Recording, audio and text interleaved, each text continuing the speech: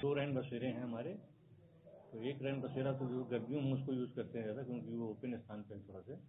और एक जो है क्लोज है चारों तरफ़ से उसमें कमरा टाइप का है उसको जाड़ों में यूज़ करते हैं। अच्छा फ़िलहाल में चालू है कि नहीं हाँ? चालू है। पूरी व्यवस्था है वहाँ पे।